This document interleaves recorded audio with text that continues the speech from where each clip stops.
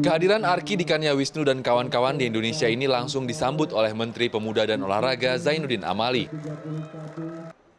Di SEA Games ke-31 di Vietnam, timnas basket putra Indonesia mencetak sejarah dengan merebut medali emas untuk pertama kalinya di ajang SEA Games.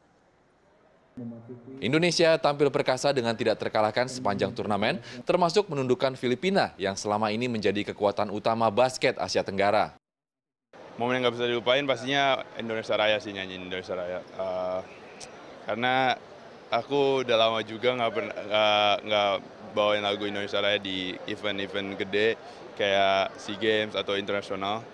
Nah, itu sih bangga banget aku. Namun tugas berikutnya sudah menanti timnas basket Indonesia yang akan tampil di hadapan pendukungnya sendiri pada ajang FIBA Asia Cup Juli mendatang. Ditargetkan minimal menduduki peringkat 8 besar, timnas basket Indonesia akan menggelar training camp di Australia dari tanggal 9 hingga 24 Juni 2022. I feel like it's definitely a realistic goal. I mean, uh, we showed to you know the, the rest of Asia that you know we have a, a tough group of guys here in Indonesia, and so uh, we're looking forward to continuing this fight for the rest of the summer. Kita juga harus tahu di FIBA Asia ini lawannya levelnya jauh lebih tinggi dibanding SEA Games. Makanya kita juga uh, melakukan training camp di tempat uh, di mana uh, negara itu tuh Australia itu ranking tertinggi di Asia sebetulnya, di di dunia malah untuk untuk region Asia.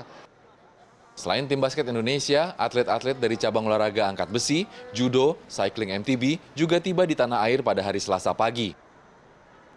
Pemerintah pun berjanji akan segera memberikan bonus atas prestasi yang diraih oleh para atlet Indonesia di Vietnam ya saya sampaikan pasti ada apresiasi dan ucapan terima kasih dari pemerintah. Ya, tunggu aja nanti ada pemberitahuan dari Pak Isnanta yang bertanggung jawab terhadap itu.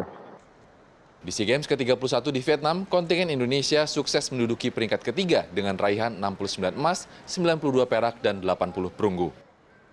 Erlangga Wisnuaji, Sony Sulistiono, Jakarta.